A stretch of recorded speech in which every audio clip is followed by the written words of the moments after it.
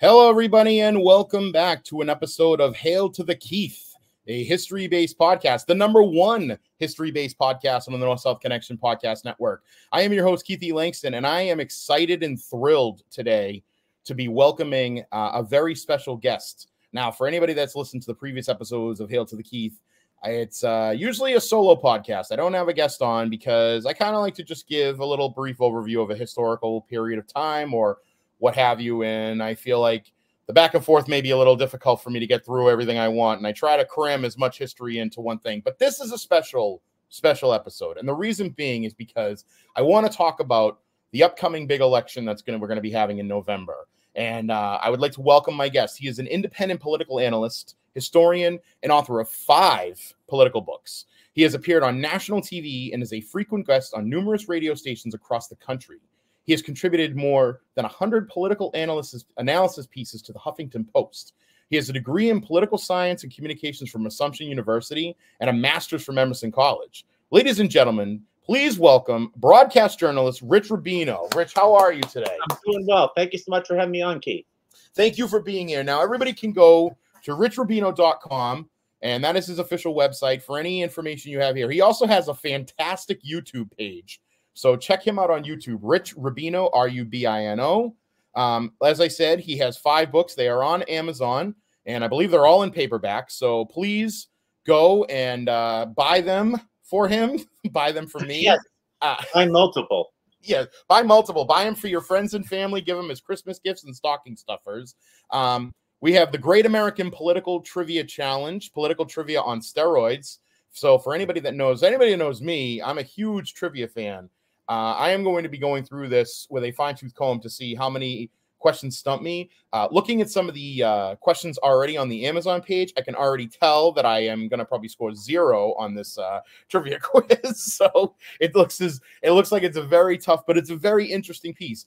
Uh, I am a huge history buff, so I would definitely dig the history that is in that. Um, we also have uh, the political Bible of little known facts in American politics. Again, that's another one that seems to scratch me right where I itch because I always love, I love talking about any kind of political issue or uh, just political facts. I mean, I, I think I was so jazzed. My one of my last, the last episode of Hail to the Keith I did on um, kind of like an overview of Teddy Roosevelt, mm-hmm. and I was just dying. I couldn't wait to talk about how he continued to deliver his speech after getting a shot. Yes, yes. Getting shot, and I was like, I can't even wait to get that out. And then telling the how he was he was in the window when Abraham Lincoln's funeral procession walked by. I mean, so yes, I love I love little political trivia facts and things like that.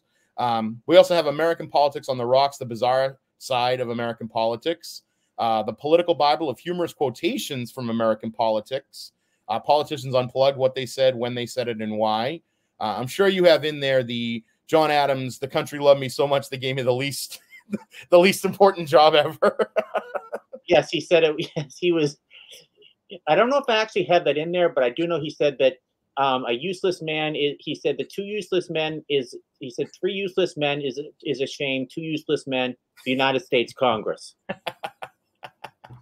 exactly right. multiple, yeah, absolutely. He had a lot of great quotes. Yes, he yes he did. And uh, make every vote equal. What a novel idea. So those are the five books that Rich has written. I'm sure there's going to be another one out there soon, right? Uh, yes, but probably probably more philosophical. I'm doing something on philosophical humor as Ooh. opposed to political. Although there's going to be a lot of political stuff in there as well. Uh, well, I mean, a lot of people these days do see politics as a philosophy. So, you know, oh, absolutely, I, absolutely. I've often said that the new religion in this country is uh, American pride, you know, or is a uh, war, one of the two, right? right, exactly. So, yes. Uh, but what I wanted to talk to you about again, Rich, today is, uh, as I said kind of in the opening, I wanted to dedicate this to the upcoming elections. Now, we both had the Republican National Convention and the Democratic National Convention. We know who our two our big two choices that we have on the political spectrum that we have uh, to vote for. Of course, I make a joke about us only having two. We do have a, a flurry of candidates that have declared and are running. Absolutely. And um, I know that you are an independent, so you are right, right down the middle. Facts, full facts, and I can agree with that. Um, I will say that I am a bleeding heart masshole, but I do tend to think and use my brain for more than just you know getting around to ordering coffee. So um, I like to say I'm a Massachusetts Democrat that voted for uh, that voted for Charlie Baker on three separate occasions. So you know I feel like I have a little bit of juice on the other side there. But um, yeah, no, I mean I think I think what I what I would love to get out of this, and this is why I asked you to be on, is kind of to give. Um, I guess the best way to say it is like the the high school version or the layman's version of the policies that are really what I consider to be the important policies. And when I say that, like not the sexy policies, like a lot of the social issues and the back and forth that the politicians use to really kind of get the sound bites, but the things that are really going to make a difference for our generation and our generations below us, because you know we're we're starting to move up in the world, our generation, you know, and uh, I feel like we need to we need to have a little bit more knowledge going into the to the booths this year. And of course, stressing to anybody that's listening or watching this, vote down the whole ticket. Like make sure you vote in local elections as well. Uh, Rich, I would imagine you think that local elections are just as important as the top. Yeah, no, absolutely, absolutely. Um, this time around, but what really happens with local election is usually in most states, governors' races are every two are every four years, except for Vermont and New Hampshire, where they're every two years. And yes. most governors' races are on off years. So, in other words, the last time around, most states um, had gubernatorial elections. This time, about 10 states have gubernatorial elections. There are congressional races. Um, many congressional races may be uncontested.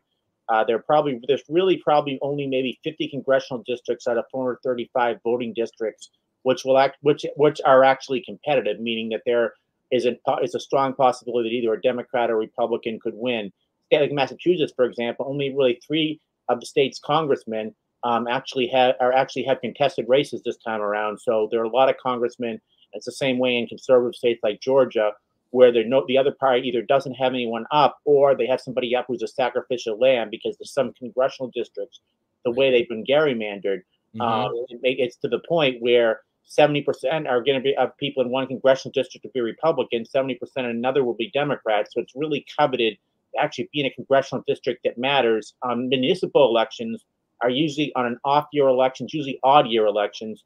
The most mayoral mayoral elections, most city council elections are off year, and then you have selectmen in some parts of the country, aldermen in other parts, and they're mm-hmm. usually selectmen are usually are usually they'll have the three year terms and they'll be um, they'll be staggered terms. So you really have to kind of do a lot of research. But generally speaking, sure. at least in the presidential year, there aren't quite as many uh, state races. Oh, and also you have United States Senate races, which are every six years. Six years, yeah. And in this case, in, in some in some states, in some states, you might have a Senate race. In other states, you might not have a Senate race this time around. Right, and it's actually it's interesting that uh, you bring up just how you have to kind of pay attention and do your research. I know that actually, I know like I live in Watertown, and Watertown, you can go to their town website, and they're very good about giving you what's on the ballot, what's you know what you need to pay attention to and then of course you see the signs every year everywhere everywhere around on everybody's lawn but it really is important to vote in those off years as well uh, like you said too because you have to keep an eye out for the senatorial races which are every six years uh, the house of representatives they're every two years but it's not every year you know you don't always have somebody running in your district every year but there is it's it's every November. I feel like every November you should get out there and vote. There's always a reason to get out. A lot of times too with the questions that come on the ballot, yep. and a lot of times those questions are valid. I mean, we had in Massachusetts alone, we had the question about medicinal marijuana becoming, you know, just recreational marijuana, and th- we and we had the one I think was it last year? Was it last year or last election? Maybe it was 22 with the ranked choice voting that yes. down. Yes. And I was I was mad about that because I did a lot of research on the ranked choice voting and I really wanted that to go through and it didn't go through. So that ranked choice voting is an interesting issue because mm-hmm. what it basically just for and it does take a minute yeah. to explain it to people. That's one of the criticisms of it. What it is is basically say there are five candidates running. There's a Democrat, Republican, Green, Libertarian, Constitution Party. Mm-hmm. Say you're very liberal and you want the Green Party candidate to win. You vote for the Green Party candidate as your first vote, and then you vote for the Democrat as your second vote. Right. So once you once they actually once once the votes are decided, they basically if your if your candidate does not win a certain amount, usually 15% of the vote, then that vote goes to the first person. So Right. you hear all the time about in terms of third parties about they people will immediately say it's a wasted vote. Don't vote for that person. Well, a couple things about about third parties. First of all, there are really only maybe ten states this time around that are showdown states. So if Right. you vote for a third party in Massachusetts or you vote for a third party in Utah, you're not necessarily wasting your vote because you know you've essentially the election's basically been decided. One state's so conservative, the other state is so Democrat. Right. On the other side, uh, the other thing that ranked choice voting does is well, it eliminates that that so-called wasted vote syndrome. You can vote. People can go in. They can vote their conscience. Mhm. For example, you hear a lot of in 2000, this the, the election where um, you had folks like Michael Moore, a lot of Democratic activists were getting were were saying you should go out and you vote for Ralph Nader. Right. So what happened? A lot of people went out and voted for Ralph Nader as their first choice, and that arguably cost Florida and New Hampshire for, for the Democratic Party Al Gore. Had you had ranked choice voting, then people who wanted to vote for Ralph Nader would have voted for Ralph Nader. Nader would not have gotten the 15%. Then Al Gore essentially would become their vote. Right. You had this in Maine, and a congressman named Jared Golden was the first congressman to actually be elected, um, a de- conservative, moderate to conservative Democrat in the district. His congressional district he represents goes all the way down from Lewiston up to Aroostook County, Caribou. It's actually the Oh, boy. largest congressional district Yeah. in the area east of the Mississippi River. And he's an interesting guy because we can get to him in, in another aspect. He's one of the few, he's really one of only five Democrats who represent congressional districts that went for a that went for Donald Trump last time that are Democrat. But at any rate, that's what ranked choice voting basically does. In Massachusetts, it was on the ballot, and Yep. it was Massachusetts one of the states that rejected it. which is a shame. It should have been. I love. I love that idea. I when I first heard of it, before it was on the ballot, I had heard of it about it beforehand, and then I kind of did some research about it again. And then when it came up, I was really excited about it. I told everybody I was like, "You got to vote. You got to vote for yes for this. You got to vote for yes for this." Hopefully, it goes back in again. Um, you should. They should let you do the advertisement for it, the explanation. Well, was- I can give the op- I can give the opposite since I'm in the middle. I'll give the opposition for it as well. yeah, but the that's opposition, the opposition mm-hmm. for it, people say you're, you're you're supposed to go for a vote. You get one choice, one choice alone. That's one of the things that would be in the opposition for it. The other thing is that it's very hard to explain, and it's mean that the essentially the folks who run the elections are going to have to be there later, and you're not necessarily going to know the results of the election that night because that's true. and that's one of the things actually Charlie Baker said when he was opposed to it, something to the effect of, "I'm opposed to it because it would get, it would put too much stress on the vote counters." So there is opposition to it, and that's one of the reasons why it failed in Massachusetts. But it's something you have to. It does take a while to explain to the person. Hopefully, I've explained it right. Basically, Yeah. you get all the third party candidates and the major party candidate. Yeah. So for one person is your Mhm. first choice, your second, your third. So if you, 2000, for example, this really would have mattered. Someone on the left would have voted for Ralph Nader in Florida for their first choice, Al Right. Gore their second choice, say Pat Buchanan their third choice, and then right down the lane, Harry Browne, the Libertarian, their fourth choice, George W. Bush their first cho- fifth choice, and their vote would have been for Al Gore, and Al Gore likely would have won the state of Florida. Yeah, and that would have been and you're right and that's the that's the election right there Mm-hmm. and it but it, it does it does bring up a great you brought up another great point um, in the opposition with which it which is something that i did want to kind of discuss it's one of the topics it's not really one of the questions that's on and again i think i want to just point out and i'm sorry if i i think i said this to you before we started recording.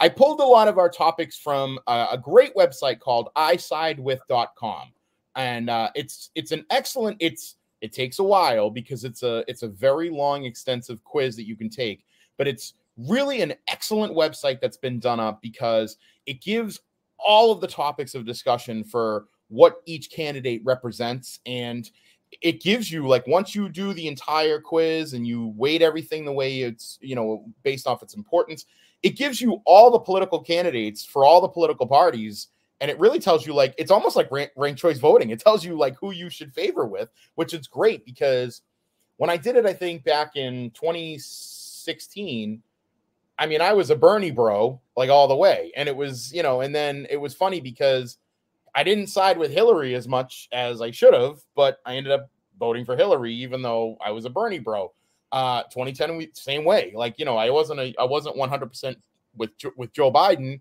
but i was pretty close so it's a great website. I highly recommend it. And one of the questions that they had on there that I wanted to talk about um, has to deal with uh, really the elections themselves. And I think that we should, my personal opinion, and I want to get your maybe your pros and cons on this, is having maybe a week long election process because as you know, it used to be like that back in the day before we had instantaneous elections and things like that.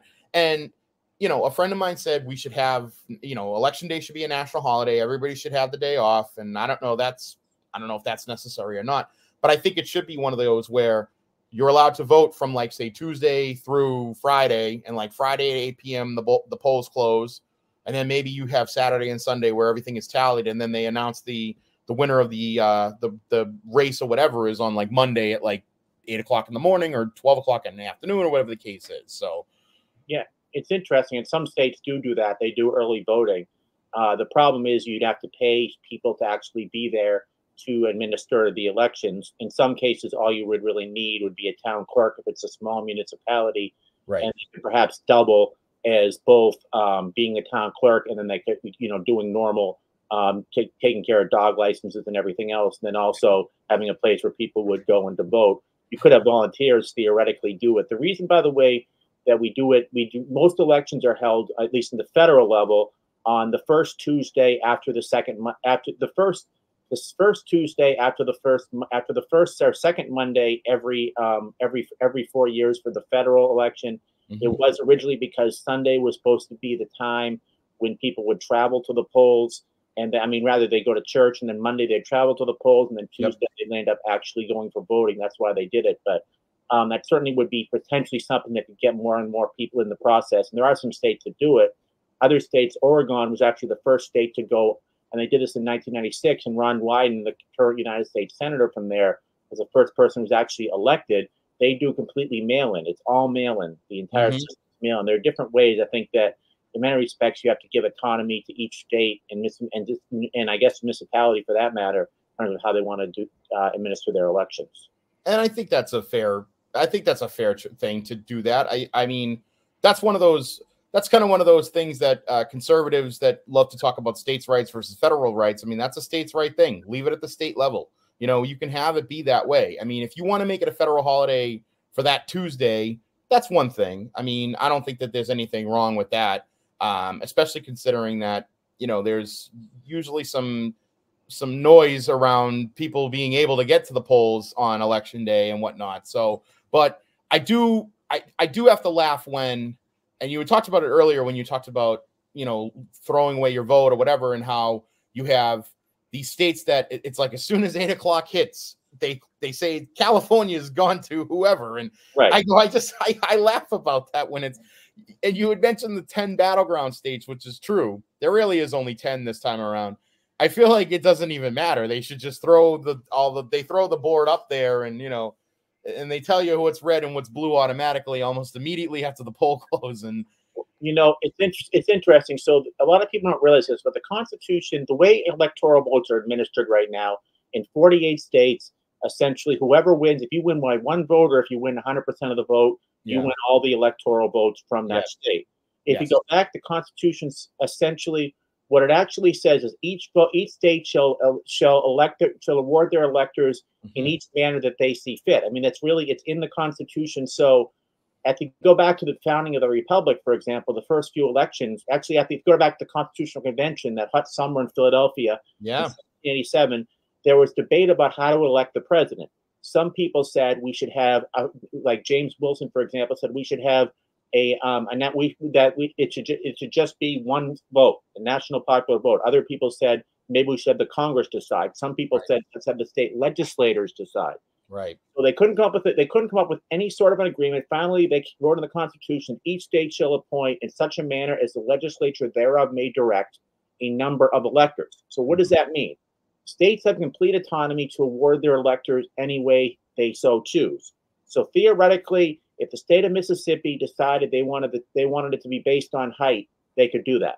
I mean, I'm saying it really, literally. The no, you're right. You're absolutely right. So, what? So the question is, why do they do it the way they do it when they award it? Whoever wins the most votes in that state. Well, because it was the party actually was the Democratic Republican Party in Massachusetts, and in and and eventually in other states that it really had that really had um, that had the more that had hegemony over the legislature and said, how are we going to continue to have this? They said, why don't we award our electoral votes so that it's so that the other party, the Federalist Party at the time, doesn't get any votes in the in the electoral college. So they started doing this. It went down that road. New York did it. Virginia did it. Eventually, just about every state awarded their electoral votes to the person who wins the national popular vote. Right. Now, a few states do it differently. Maine, for example, awards they give two votes to whoever wins the national popular vote. So that's obvious. That's most of the time going to be a Democrat. Mm-hmm. Then they have two congressional districts, and they award they award based on congressional districts. There's one congressional district that's predominantly Democrat that's going to go for the Democratic presidential nominee. Then there's another one that's center right district. It's actually competitive. That's the one I was telling you about, the Jared yep. Golden district. Mm-hmm. Uh, Jared Golden actually is most. He's the Democrat who represents a district that was the most pro-Trump in the presidential election, won about 55% last time around. But Golden's able to get elected. Nebraska does the same thing. Nebraska has two congressional districts that are extremely conservative. They're going to go Republican anyway. Mm-hmm. Then there's another congressional district that includes a college town of Omaha. Yeah. So therefore, because that's competitive, you actually had Tim Walz, the Democratic vice presidential candidate, even though it's only one electoral vote, yep. campaigning in Omaha, Nebraska. Sure. Because you know there's a possibility that it could actually come down to one electoral vote. So mm-hmm. consequently, Nebraska, one of the most conservative states in the entire union, because of that congressional district, is now somewhat competitive. So we have a scenario right now, and you're correct.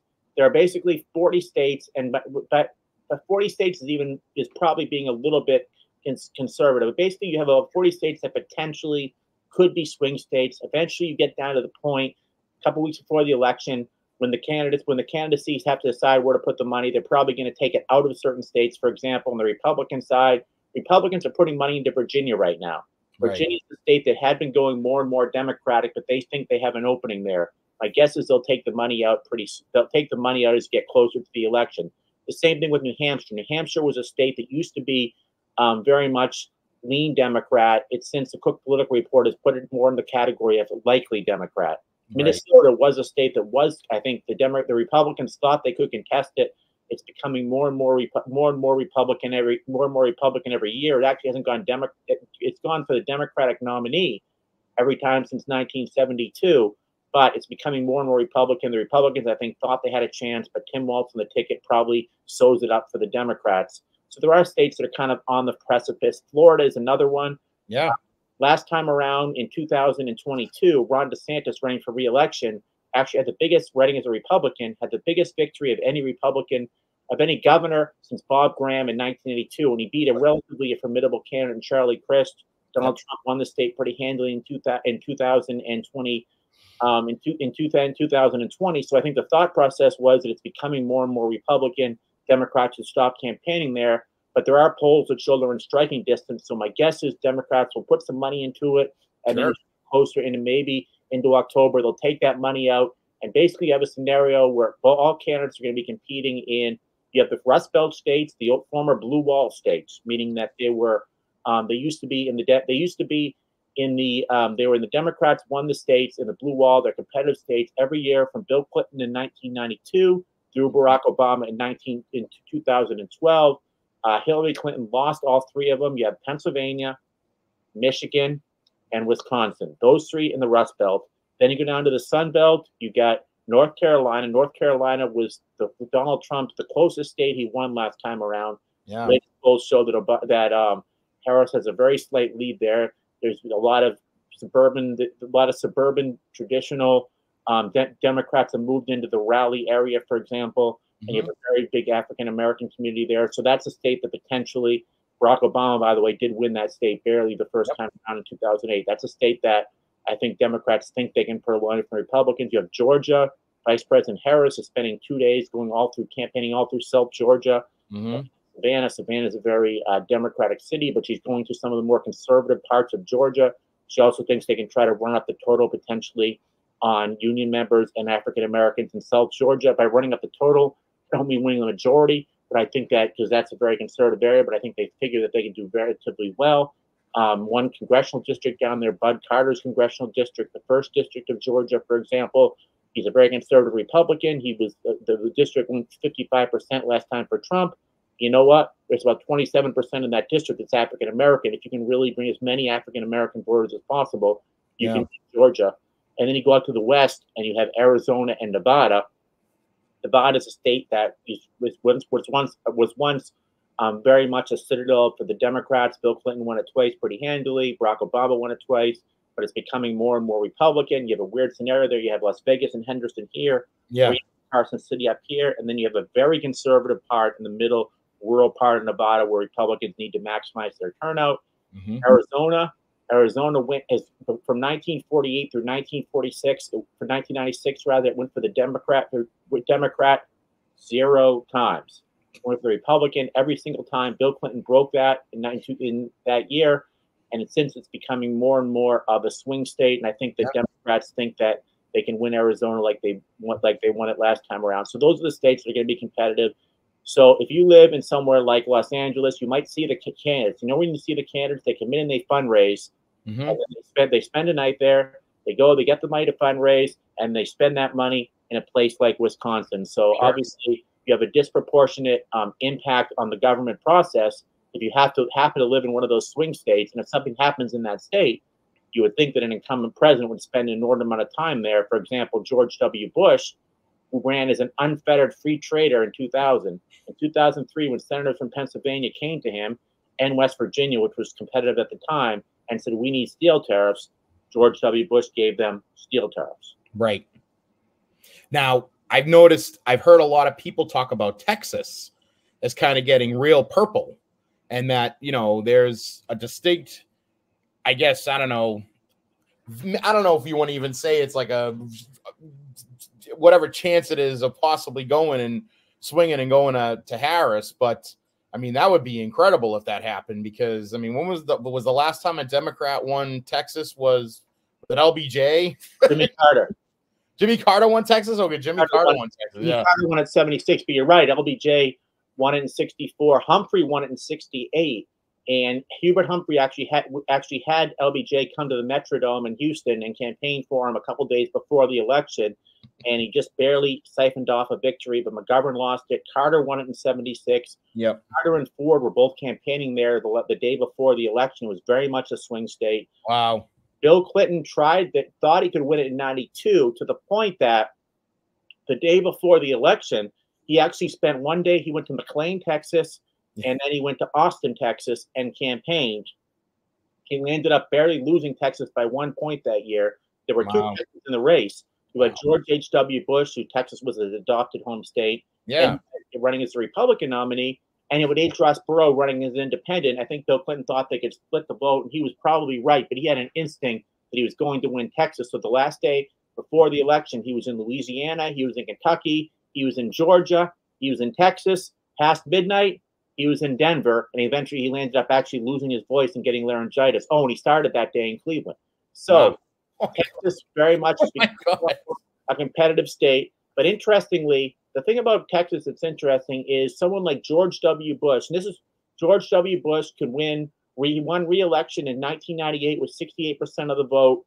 And he does this, then he landed up winning the presidency twice. Yep. He did this by oftentimes not doing particularly well in places like uh, the major cities like Austin, Houston, and Dallas and El Paso. So how does he do this? There's a lot more to the state of Texas than the major cities sure, that the Democrats can maximize their votes in places like Dallas, big cities, Houston, Austin, El Paso, then potentially they do have a chance. But the question is, how much money are you willing to spend to risk on a state that you can win without winning that state? Maybe what you need to do is put some money into it, and then it's kind of like a fake. Then you kind of take the money out and see Yeah. if Republicans want to spend their money trying to defend Texas. So far, the Republicans have not really been spending much time there, and Democrats haven't either. Last time around, vice presidential nominee Harris did spend some time there, but it's a big state. It's a big, a lot of big media markets. oh yeah, In Dallas, you have Austin, you have Houston, Yep. there's Victoria. I think Victoria is the 204th of, two, of 211 um, media markets in the country. So you have a lot of small media markets too.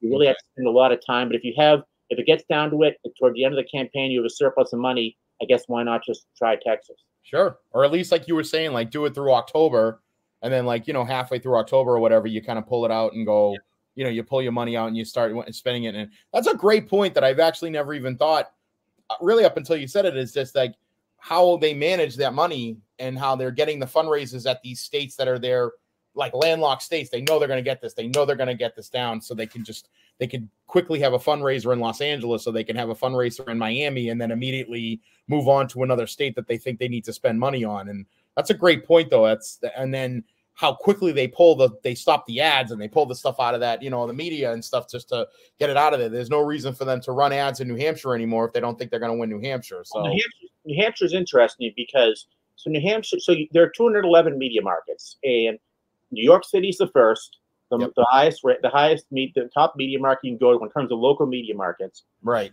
Glendive montana is 211 so a state in new hampshire New Hampshire only has one major station, and that's WMUR. It's actually considered. It's in. I think it's it's in a top ten market, which is Boston, and it's called the Boston Manchester market. Yep. So accordingly, other than WMUR, if you're trying to reach voters in New Hampshire, you're spending a lot of money on on the Boston market trying oh, to reach people. Absolutely. And it's really a waste. It's you're really spending a lot of money getting a lot of people who can't vote for that candidate. Yeah, right. You figure how many figure if you actually live in the if you live in Boston, you're hearing a lot about Kelly Ayotte right oh, now. Oh, I'm sure a lot of voters are thinking are going to go to the polls thinking, well, Kelly Ayotte, I'm either for or I'm against her. Where's Where's Kelly Ayotte on this ticket? the problem is they're getting superfluous. It's so superfluous, and it really can get annoying. I think for a lot of Boston viewers to hear so much about New Hampshire candidates, right? Can't vote for that aren't going to represent them. It is. It's. It is. I see it every because we watch the news. I watch the news every morning, and it's just nonstop Kelly Ayotte, Kelly Ayotte, and I mean, we. I even do the jokes where I do the voice. I go Jeanne Shaheen, and then it's just because it was the when Jeanne Shaheen was running, it was Jeanne Shaheen. Jeanne Shaheen voted ninety five percent with Barack Obama. I remember it very well. I remember, and it's just that that one guy's voice is just so menacing, like Jeanne Shaheen eats the fetuses from aborted. It's like it's the worst. Like she's such a criminal, Jeanne Shaheen. And I go, who is this Jeanne Shaheen? I can't even vote for her. I want to vote her out of office. so I guess uh, maybe it'd be like if you could risk run negative. Do you ever wonder if you could just run negative ads about someone you don't like and just spend the money on the stations and say, you know, I really don't like John Smith over there. I have a lot of money. I'm going to run ads in the Boston mm. market talking about what an awful person John Smith is. You think they'd let you? If they can do that for a camp for a presidential candidate uh, or any yeah. other candidate, maybe you can do that just for an individual. I can do that for my neighbor across the street. That she's always she's always parking in front of her house, and it just it chews up a spot on the street. I could just run an ad, a political ad on her. Take a picture of it. Take a picture yeah. of it, and then have that black and white coming up. Thing. that gradient color, yeah, I love it. Oh, that's amazing. Oh, thank you, Rich. I needed that. That's a great laugh. Uh, but um, one of the one of the questions I do want to ask is, and and and then these are kind of interesting. I think interesting questions about certain things. Uh, you had mentioned Texas earlier. We were talking about Texas, and the only reason it makes me think of this is because you know the stars are bright down, you know, at big yes, at night and everything. But found out when he was um, when they called him, he wanted everyone to know if he's from Texas. He said he, he said he's from Texas. He said Texas, and they said the stars are bright, yes, big and bright, deep in the heart of Texas. That's right. and as we know, uh, in Texas, they have very, uh, very gun favorable laws and things like that. And one of the big, one of the big topics of discussion, this I think for this, and every seems like every political year is um, the restrictions on gun registration and, and gun purchasing on guns and um, I myself do not own a gun. I do not have a gun. I do not have a license to conceal or anything like that. And uh, I know I can if I wanted to apply for it in Massachusetts, I could. But uh, with a lot of the tragedies that have gone on with gun violence in this country, with both you know gang violence as well as just individuals who you know have some mental health issues that it leads to that. Uh, I guess the question out there is really is. Um, you know the pros and cons of supporting the second amendment right versus having some kind of common sense gun registration and gun legislation and things like that. I would think that uh, most people if you sit down and talk to them individually would say that they're kind of split on that and they would say i think we should be able to still have the right to purchase and own guns and you know follow the second amendment to the law but also we should have some kind of common sense gun legislation couple of things about guns in Texas, and this is interesting. When back in 1994, remember Ann Richards, Yes. the governor of Texas, the female Absolutely. woman who had um, very big hair. Well, Yep. She was running for re-election, and she had a, uh, the day of election, the day of the election in '94, she had a 60% personal approval rating. So how did she lose? Well, do you know who her opponent was that year? It was George W. It was George W. Bush. Yes, George Yes. W. Bush. And George W. Bush made the fact that Ann Richards was in favor of some forms of gun control his flagship issue. Mm. So consequently, despite the fact that Texas voters liked Ann Richards, they voted for George W. Bush. Mm. He made that an issue. It was such a flagship issue to a lot of people, even though they probably liked Ann Richards and could relate to her. I mean, she was really Miss Texan. She very much represented the state. They voted for George W. Bush, and George W. Bush ended up getting reelected in 1998. Interest. So here's the thing about guns, and this is the same thing about the First Amendment. Very rarely, and pretty much under no circumstances, has the United States Supreme Court interpreted any constitutional amendment literally. For example, the Constitution does say the Second Amendment, the second part of it, basically says that the government shall not infringe on somebody's right to carry a gun. Right. Take the First Amendment, for example. If you take the First Amendment literally, that the Congress shall make no law abridging freedom of speech, then you should be able to go out at three o'clock in the morning with a blowhorn in a residential neighborhood and yell and scream. Correct. Why can't you do that? Congress tends to, the Supreme Court, oftentimes there's an invisible word in the Constitution. This is for all amendments. That word is reasonable.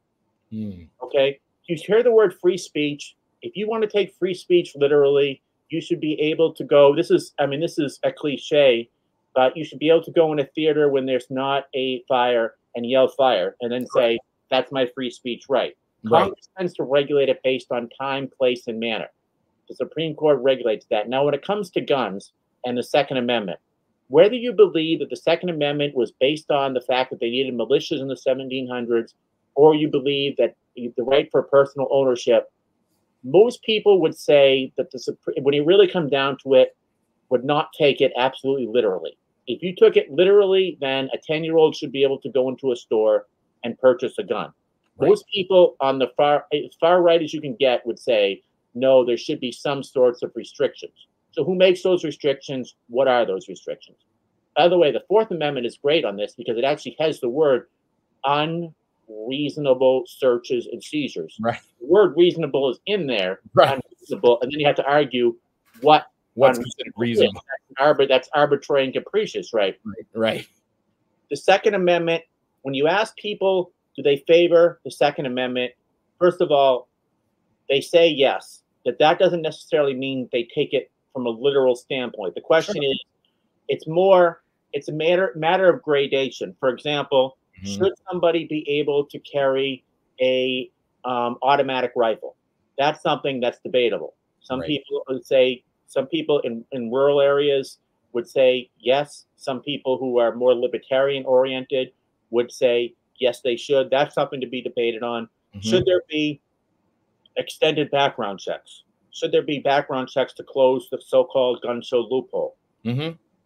Well, that's something that's very much debatable. Most people, and that's something actually when you ask about closing gun, closing loopholes, the majority of gun owners say that they sh- say that they do believe there should be background checks. They do believe there should be background checks on gun shows, that type of a thing. You ask other questions, for example, when if you ask the question, should all guns be outlawed? And maybe you get a few people on the left that would say that, but the majority of Americans do think that there should be some form of gun ownership Mhm. libertarians they would say it's to protect yourself against against um, an unlawful government against a tyrannical government for deer hunters in arkansas they would say i need it because i have to go i mean for um, for, for for duck hunters in arkansas rather they would say i need it because i have to go hunt duck Yeah.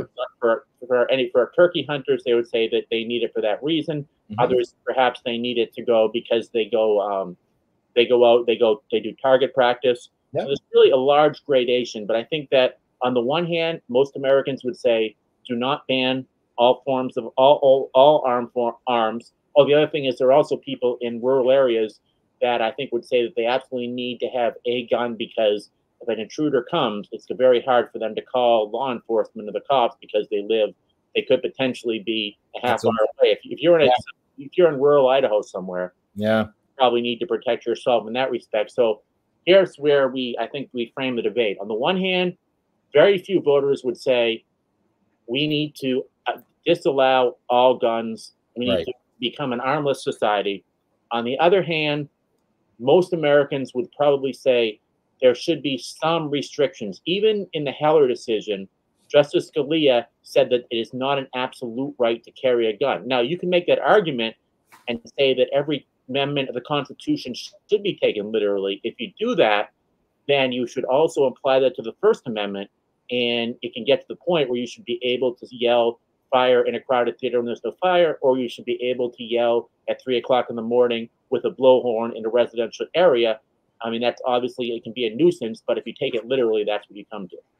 Well, and that that actually is another question I was going to bring up to you as well is about um, protecting hate speech under the First Amendment to the Constitution, and I think that it, that answer that you just gave would be the same exact answer you would apply to that too. The same logic and the same reason. It's Fighting words is what the court uses. Yeah.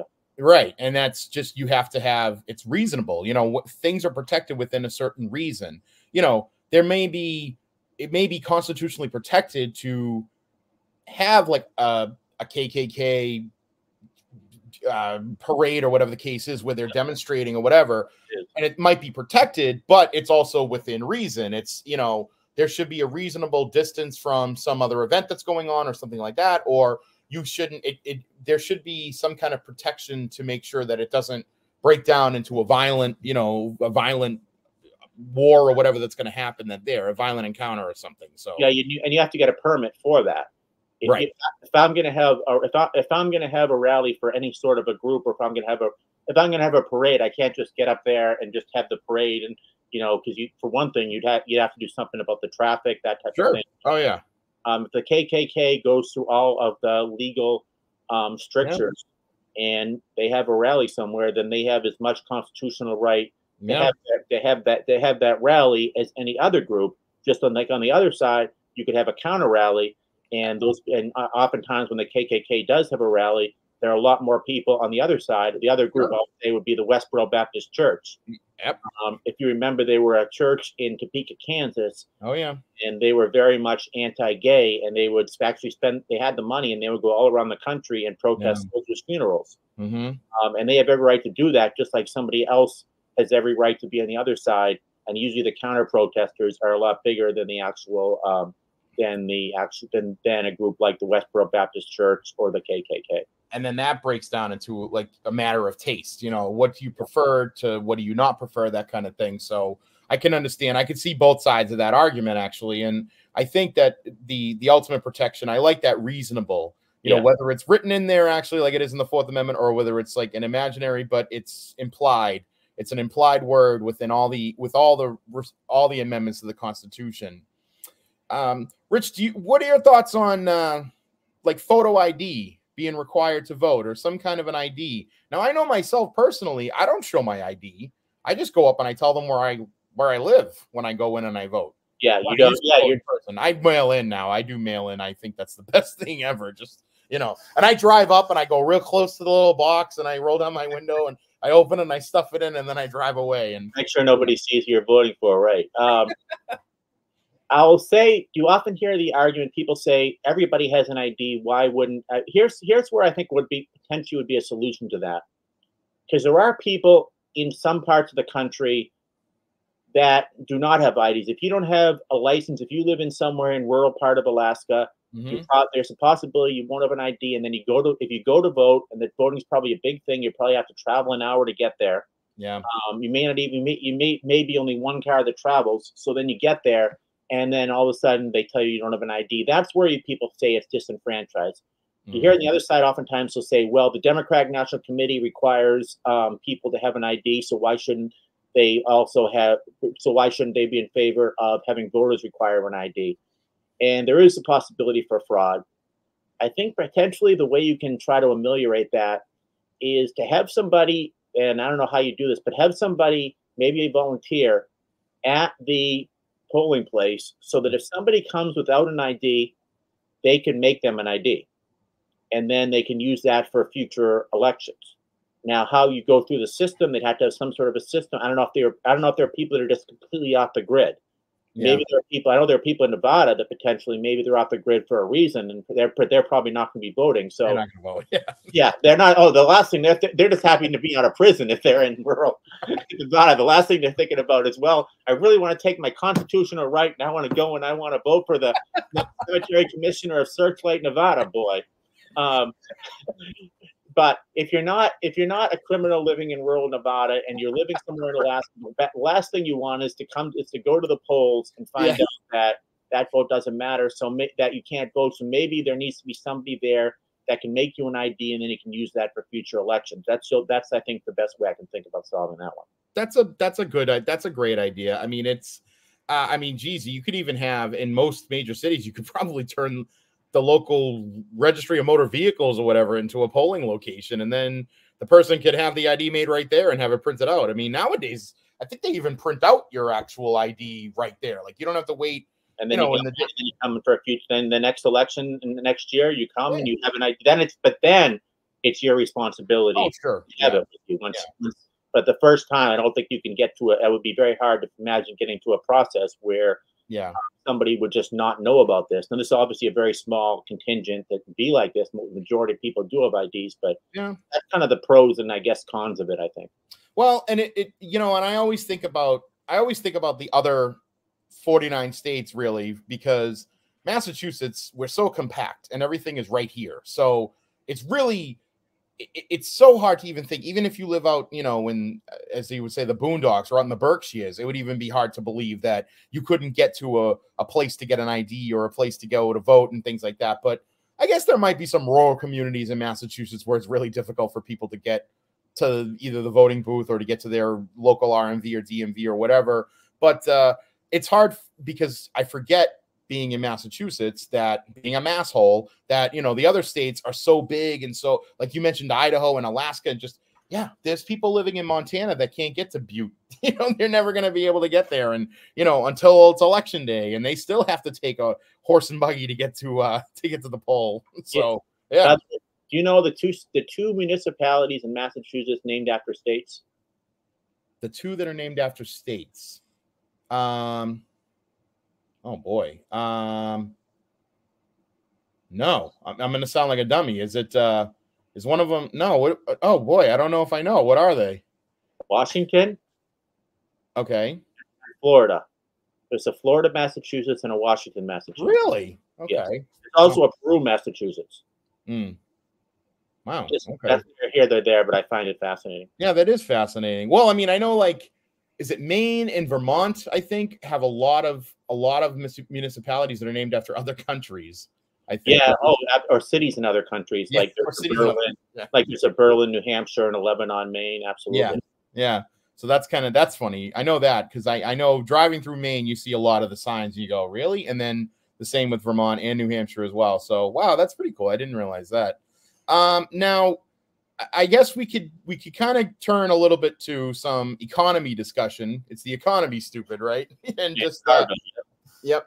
And I guess the big, I guess one of the big questions that I, one of the big debates that I have with my brother pretty much all the time is about, uh, you know, increasing the taxes on the upper percentage or whatever. And I know that the, I know that there's, you know, proposals out there to increase taxes on, I believe it's people making over 640,000, I think, or 647,000 combined and kind of raising them into a different tax bracket to increase their incre- increase their wages. And I know that people that are against it say like they're paying their amounts that they're supposed to pay. And I kind of agree with that, but I feel like because of the loopholes that they're able to get through, and I guess it's not even the people that make 647,000, it's probably people that make in the millions or whatever they're pulling. But is there a better idea? There has to be a better way, right? To be able to appropriately get additional revenue from people who maybe are better off. I know Jesse Ventura has gone on, and I know he's a bit of a conspiracy theorist, but Jesse Ventura has always said there should never be billionaires because nobody should make that much money. And, you know, I don't know if I agree with that, but I kind of think that, you know, maybe I look at it as I wish we could move towards a Star Trek universe where people are looking out for their better man. Uh, I feel like we're moving towards more of a Star Wars universe where it's just every every planet, every country's becoming a desolate planet run by criminals and thugs. So I don't know, but well, I guess the only thing that would really kind of bring everyone together is if there is, if we, as Ronald Reagan used to say, if there is a threat from up there, if there is an ex- if there is a threat between us and then some sort of another planet, sure. then the entire power structure, the entire power structure of the world would somehow come together because take on. It's kind of like the Northern Alliance in Afghanistan right. that we aligned ourselves with.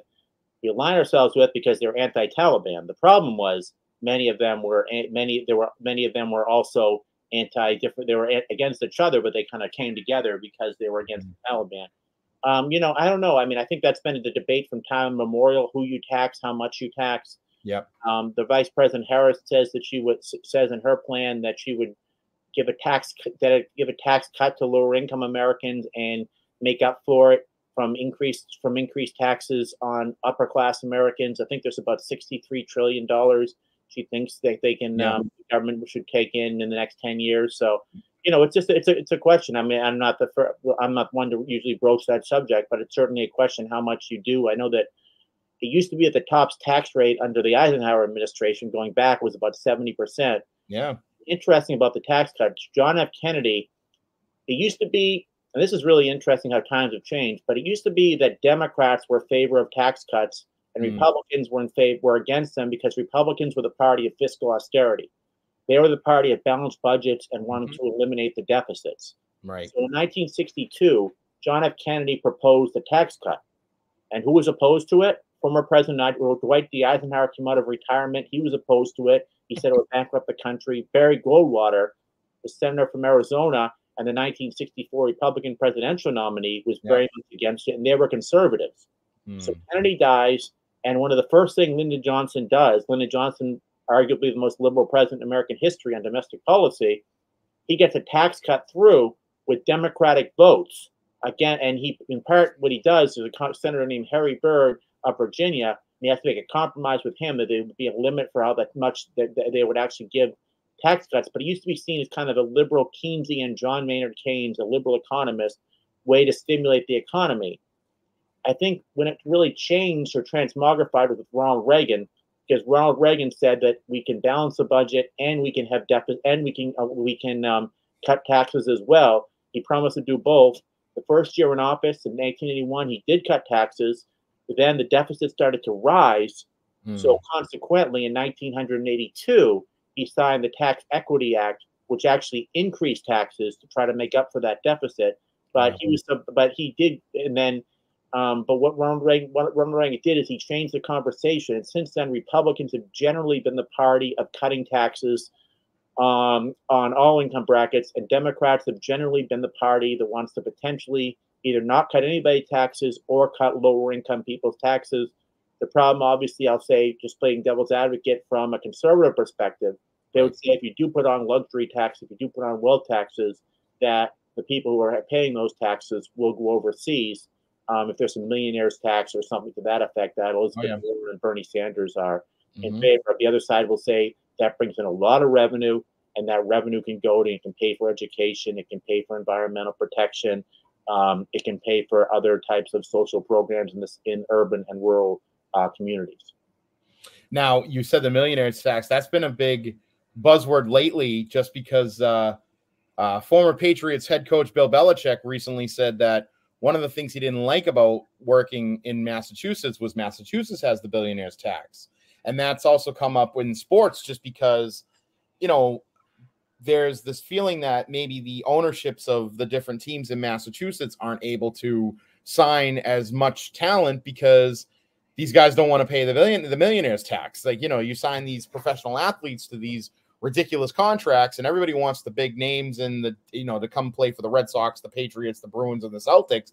But these guys, but the owners don't want to pay the extra money that they're going to have to pay to cover the millionaires tax for these players. So it's kind of a it's an interesting. It's coming up now that a lot of people are thinking about this because it's affecting sports, and you know, sports is a big driver for people's attention. So, well, remember uh, Josh Beckett? I remember Josh Beckett at one point. He had an offer to be traded from the um, Red Sox to Los Angeles, and he said no because of the tax the taxes there. So the story is that Carl Crawford, who was his mm. Red Sox teammate at the time, said, you know, we really w- want you to go there, so I'll personally pay the difference to get you to go to Los Angeles. And eventually he did.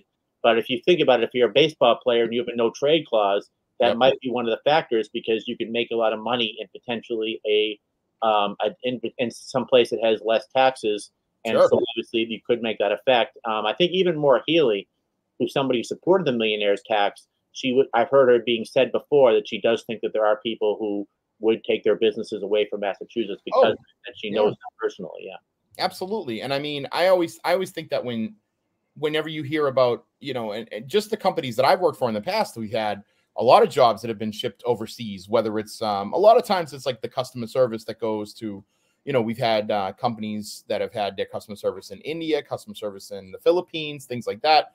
And it is, it's because they can pay, you know, pennies on the dollar for, you know, what they're paying American American workers. But I guess with um with that, I mean, you know, we're kind of coming up to the end. I don't want to, like I said, I don't want to ruin your whole evening. So oh, no, that's okay but I do have, um, I guess that kind of leads me to another big question that I have is uh, the pros and cons really on uh, kind of raising the federal minimum wage. I mean, now we haven't had a raise in the minimum wage in decades, I think. I mean, it's been pretty long time. I mean, it's Bill, still, Bill Clinton did it. Yeah, and and I mean, while I understand that it is not like the federal minimum wage is 750, but a lot of states do have difference. I mean, even Massachusetts has a higher minimum wage than that. But um, when you start looking at cost of living increases, inflation, everything that's kind of been going up and up and up over the years, I feel like minimum wage should also kind of reflect that. And as long as it's reflecting inflation, that's fine. I mean, I know that usually when you would get a raise, it would be a cost of living increase. It doesn't even seem like that's doing it these days, you know, like you're getting that. So I don't know. I mean, the pros and cons on federal minimum wage, like what are your, you know, thoughts on that? there are, and the states do, in a sense, have plenary authority to do what they have, they want with it, with their own minimum wages. But at the federal level, I'll say first of all that the con of raising the minimum wage is a couple of things. First of all, you could have the scenario where the costs are pa- are passed on to the customers, making it harder for the customers. The other thing is, if you only say you employ three or four, say you employ three people, and you're thinking about employing a fourth, a company may say, "I can't employ the one more that one more person because of what I have to pay to them." Mm. Consequently, I ha- I will um, only hire three people. Now, how do you solve that? One thing potentially could be that you could have there would have to be some sort of tax relief that the government would have to give to businesses um, to try to alleviate the kind of un, unintended consequences because there are people that generally if that generally do lose their jobs or their jobs that are just not created because the minimum wage is because the minimum wage is increased and a lot of people that use minimum that do, and the other thing is there are a lot of people you know how do, how do you kind of means test it i guess because there are people that really need the minimum wage to be increased there are right. people that are adults and then there are people who's you know a 15 year old who just gets a job at a grocery store and is doing it because they want a little bit extra spending so they can buy a car sure. Uh, the other side of that you would say that um, how can somebody afford to live and potentially raise a family on a very de minimis sum and it's imp- it's virtually impossible. So if the if the private companies say they can only pay this much, um, that it's the federal government, that's where they come in and they take the kind of um, altruistic role and say, well, why don't we pay give why don't we give give a raise so that they can do that? I think it's all about a point of diminishing returns. It's how much from 750 can you go up? Can you go up 850? Are you right. still going to the benefit? Can you go up to 950? Are you still going to the benefit? What if you go up to thirty dollars? Right. Well, the talk is about going up to say, like Bernie Sanders would want, or Elizabeth Warren would probably say fifteen dollars. But I think even they would say that there's a point where there's diminishing returns where you can't do it anymore. That yep. can actually have harmful effects. I think for most people, if you did it, and, and, and if you if you went up to say twelve dollars, thirteen dollars, you probably would have not have it. You probably would have more of a minimis effect. But it's really, you know, it's one of the questions that's really been for time immemorial. What mm. with the minimum wage? Now there are some libertarians, if you will. I remember Dick, remember Dick Armey, congressman from Texas, who used to be the majority leader in the House, who suggested at one point he later backtracked from it. He, he was very much a free marketeer, Ayn Rand libertarian, and he suggested that the minimum wage should be eliminated because businesses should be able to decide for themselves. and Bill Clinton tried to use that against him, certainly in the 96 election, saying this is what Republicans um, favor. It's actually something, if you poll, most Americans are in favor of increasing the minimum wage. But I think if you add, if you said, okay, what if we did it to, let's say, 57.43, most people would say probably that that would not do that. That would be too much, and that would probably be, um, that would probably decrease jobs. Yeah. Well, that's a great point. I know that that also has, uh, there's also been talk about, um, what is it like a minimum standard of of income and, and just having you know the government maybe subsidize that or something andrew, and andrew yang came up with that well it was i shouldn't say he came up with that idea nixon came up with it yeah and george mcgovern in 72 talked about it and andrew yang was talking about basically giving everybody $300 in part because so many people are going to lose their job because of technology right you don't want protests you don't want riots so he came up he was somebody who advocated for that idea and it really got some support kind of across the political spectrum. He was someone, an entrepreneur who really kind of came out of nowhere. Sure. Probably overperformed in his presidential campaign. Yeah. I think that it's, and I can see where, I can see both sides and I can see where, you know, you kind of go down either road you go down, you know, whether you start to raise and start giving people kind of more, I guess, of an entitlement, if you want to call it that, or you have kind of this free market, you know, businesses decide what they want to pay and things. And I don't I don't disagree with either side. I think that um, my biggest my biggest av- my biggest thing I advocate for all the time is like an education piece where as long as somebody is aware of why they're doing what they're doing and it's not just a good versus bad but there's a reason why and a, you know to do that um, I would love to have a push for like you know as part of like the green new deal have a push that everyone should have a garden in their backyard that they grow carrots and lettuce you know what i mean and tomatoes. And then at least that way you can have not only can you say you could save money at the grocery store by having your own vegetables in your backyard but you can also grow your own vegetables in the backyard. You can you can live off a salad for the rest of your lives if you have to and and just kind of go down that where maybe that's a solution to the problem so that you know you're only spending money at the grocery store on eggs and meat and milk you know and all your vegetables and your produce is there. So eh, there's just there's all different things. I think that I think different scenarios that can work. I know that I've loved to I would love to put a room of like, you know, five Democrats and five Republicans and see if we can come up with something. And I, I, I have had conversations with one Republican and we can't come to an agreement on anything. So I don't know if five's going to do it. the problem is many of those Republicans and Democrats maybe would want to come up with a solution. The problem is they probably, if they're elected to Congress, they probably represent, if they're in the House, either yeah. very very conservative district if they're a Republican, or contrary yeah. a very liberal district if they're a Democrat. Yeah. So consequently, um, the way for them to get reelected is to avoid a primary. So any mm-hmm. form of compromise that you make has deleterious effects on you. The best thing you can possibly do for a conservative is to spend as much time as possible courting conservative voters. So they don't go over to a primary challenger and the same thing for liberal voters. And that's kind of where this why we have such a stalemate in the country, why you can't have that scenario where five Democrats, five Republicans work and on it to find honest differences to try to find a compromise in the middle. So that there's one last thing I want to ask you then, and that has to do with term limits. Yes. Or both. I would say for both. I mean, I think the question on the really the question on the not on the ballot, but the question on the minds of people is term limits for like senators. But uh, I would say term limits for senators and representatives, you know, depending on what it is. I mean, there could be a proposal that you can only be in the lower house for a couple of for maybe two set two terms, and then you have to either go to the upper house or you you got you're out for a you're out for a term or something like that. I mean, I could see a pros and cons. I think there should be some kind of a limit on on. I think there should be a term limit set for something. I mean, we have it for the presidency. I think we should have it for at least the, at the very least the Senate. I don't know, but pros and cons on that. Any ideas or? The other one too you hear about sometimes now is the term limit on Supreme Court justices. Sure, absolutely. They're under under Constitution. It actually uses the term good behavior. So the only way you can get rid of a Supreme Court justice is same way you get rid of a president or vice president is you act or a cabinet officer is you actually impeach and convict. Term limits, a couple things you don't hear this too often, but I would think from a libertarian perspective, mm-hmm. you would be against term limits most libertarians are very much for it, but what you're doing is you're giving the power away from the people. If I want to elect somebody 57 times, or don't elect somebody seven times, yeah. you can argue from a freedom perspective.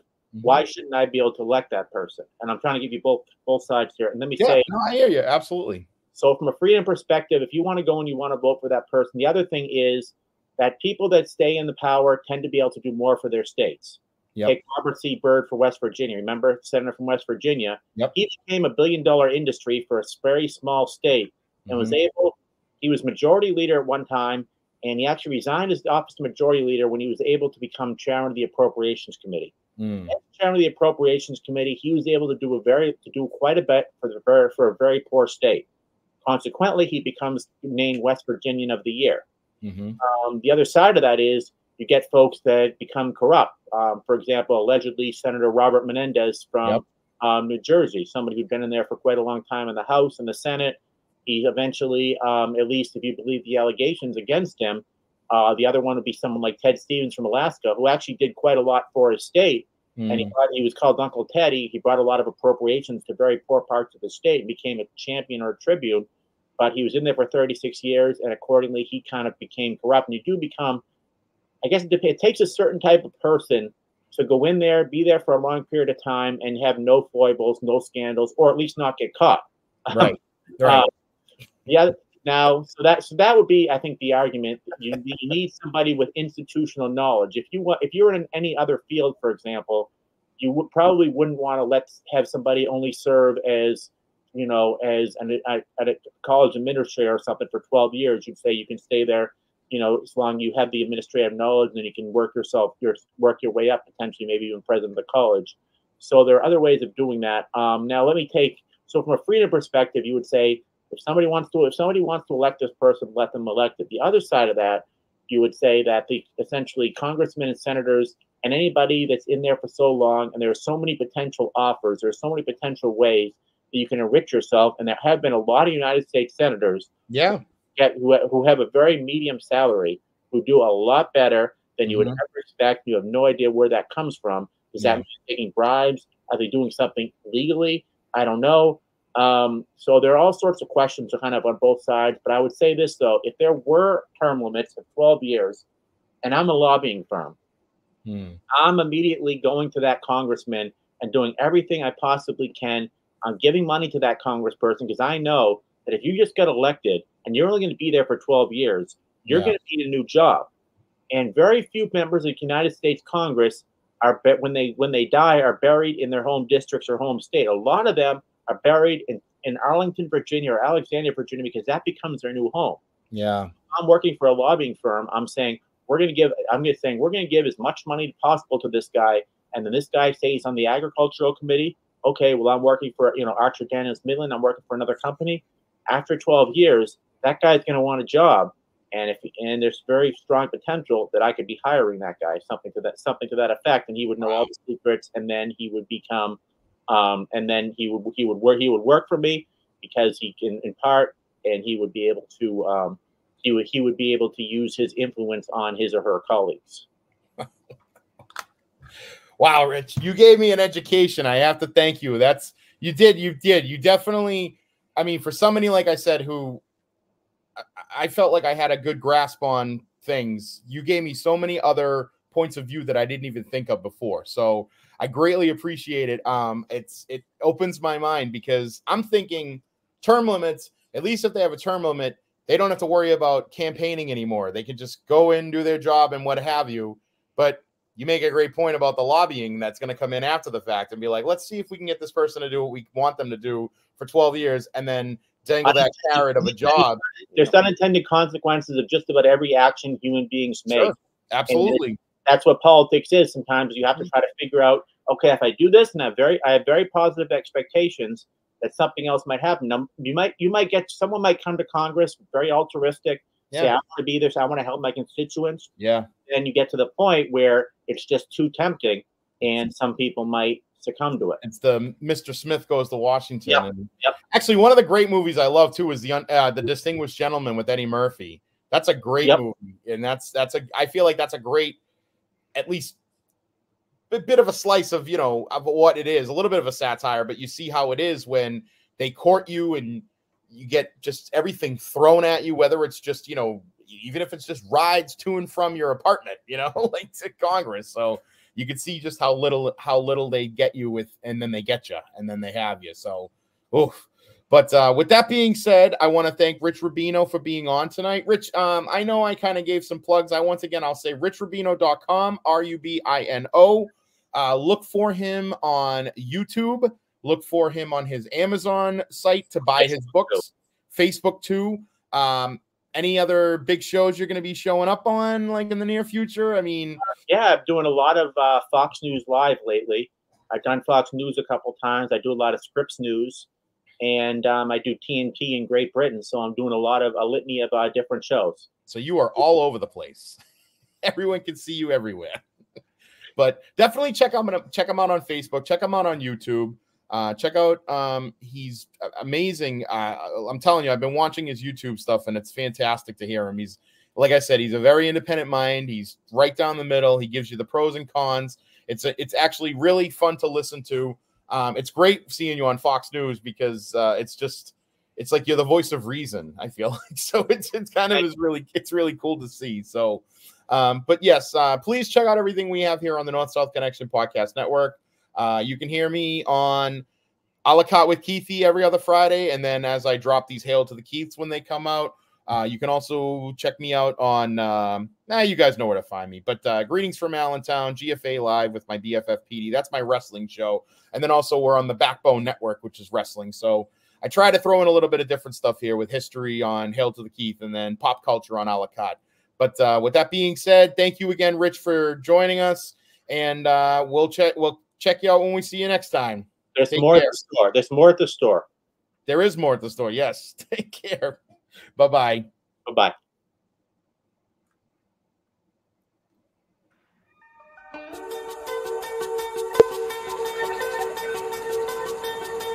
Yeah.